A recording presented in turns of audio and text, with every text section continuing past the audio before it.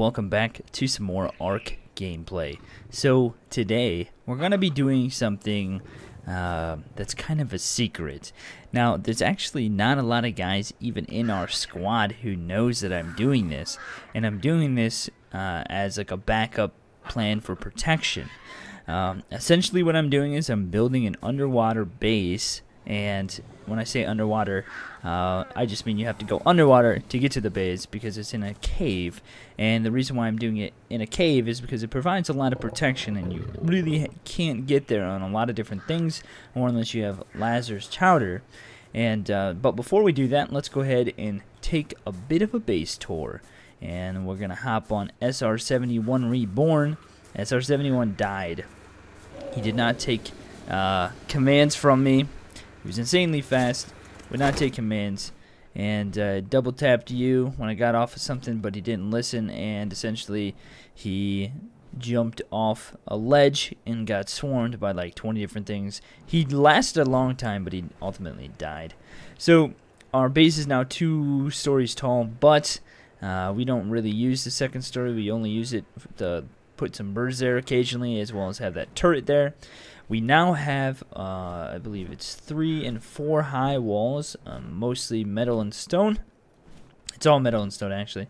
We have these towers, which uh, are all powered with bullets in them to protect our base.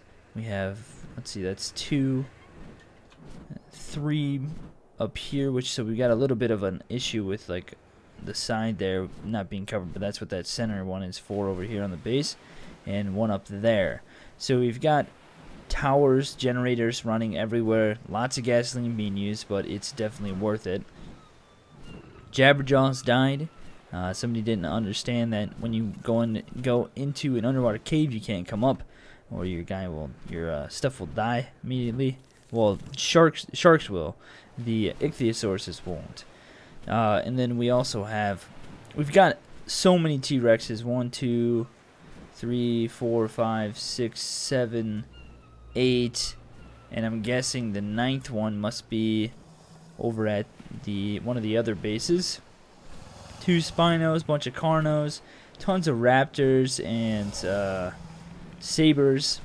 And uh, essentially, what I did yesterday, here I'll show you because this is kind of cool. I spent, I don't know how many hours yesterday, at least like I don't know, seven hours making this out here. And the reason is because we got a lot of stuff that we're trying to like get rid of. Like, and I just said, why get rid of things that'll be good for defense when we can have it uh, protect the base? And so I built all this stuff out here, and uh, Killer helped as well. We have Tinawus. Tinawus is like extremely efficient at gathering wood and helping make all of this stuff. So this area is going to be used for uh, extra dinos and dinos that we're going to try to sell. I built a bridge over the water. Yeah, and I figured we're trying we we sell dinos now. That's how we sell and get like cementing paste and stone and things like that. And so we've got this large open pen area out here, which like I said took me forever. I think Killer finished the finished the outside of the walls with the spikes he also helped me gather stone and things like that. And here is our pen, which I moved and improved upon. This is like we keep our generator in a refrigerator for uh, prime meat. Very efficient process to go get prime meat. We put it in here, then we take the prime meat out, and we give it to whatever we're taming. And we just lead things into here via this ramp. We jump down. Sometimes They follow, we go out the door. Then we can shoot them through the door as well, we can go up on the shooting gallery, shooting platform. And then if it's the largest thing, we take it out the dino gate. Oh, movement speed. Holy crap, holy levels. Okay, here we go. He's so fast. I literally have to watch what I do. I can't turn around. I gotta get off of it. Close the gate and then get back on it. This is so fast that uh that's kind of weird that it doesn't have a gender. What the heck? Alright, here we go. To the underwater base. It's so freaking close to our base.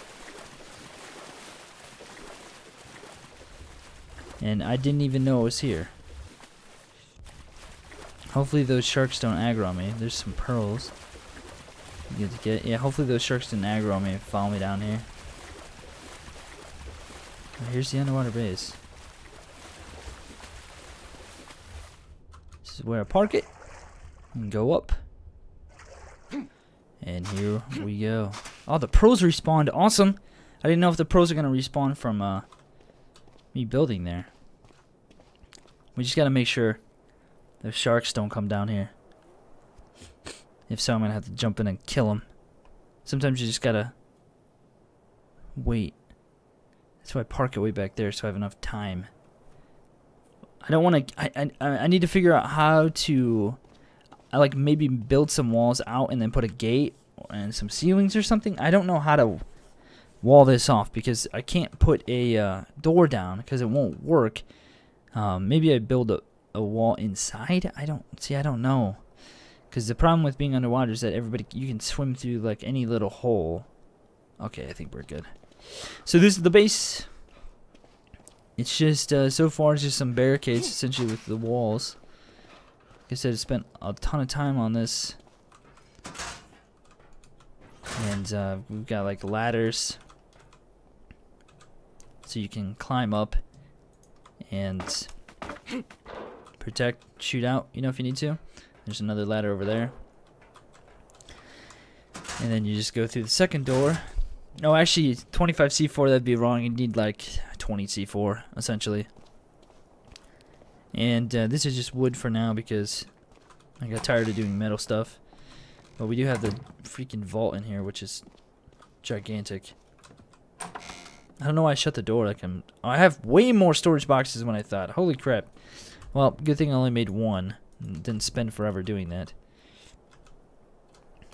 Because that would have been bad. Alright, so let's go ahead and we're going to put the smithy down. Because we can always expand upon this in the future. But I'm just trying to uh, kind of fit all this in here. With that. With the... Uh, okay, that's not going to fit we might I might have to uh Wait a minute. I made a bookshelf? I didn't even make a storage cabinet? Oh my gosh. Wow. Well, I need to get rid of one. So after all that, I had to get rid of which which is good to have a bookshelf because we need a bookshelf. So whatever, it works. My mistake worked out. Whoops. Okay, so there's that. And then we can put the mortar. Whoops. Put the mortar right here. And then, I, like I said, I'll expand all this in the future, so it doesn't even matter. And then we'll put the fire right there for now. And we'll put some wood in this fire. Some thatch. And I don't need that. Okay, so that's good. So this is the underwater base currently being worked on. Uh, currently, I'm just like kind of gathering the materials from the cave, putting it in here, storing stuff. And like I said, I need to bring down weapons and armor and go from there. Um, I don't think you can crawl through there. Yep, you're good. I'm good. And I even tested like trying to come around. Here, I'll show you. I even tested like trying to scale the wall to get get over or through, but that doesn't work. So yeah, so this is the underwater base I'm currently working on. This is just like double thicked walls so you can't get through as easily. Because uh, it's kind of weird building underwater, especially on like slopes and stuff. It doesn't work out as well, so you have to kind of line up foundations and go from there. But yeah, this is the underwater base. Not not a lot to look at currently, but eventually my plan is to have basically from that wall and over to this wall all like one giant base.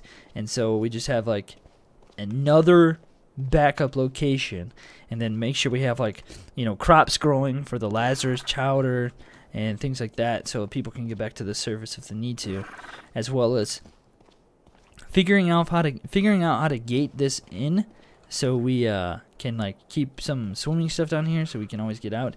But if you essentially what that guy did was he came up with Jabberjaws, came up with oh no it wasn't Saint it was Phantom, came up with the Jabberjaws up out of the water and it died right away, and you didn't know that there that that would happen. And so yeah, guys, thanks for watching. That's the look at my underwater base I'm currently working on. Hopefully you guys have enjoyed this. If you have, make sure to click that thumbs up button below and if you're new to the channel, make sure to subscribe. I'll see you guys next time.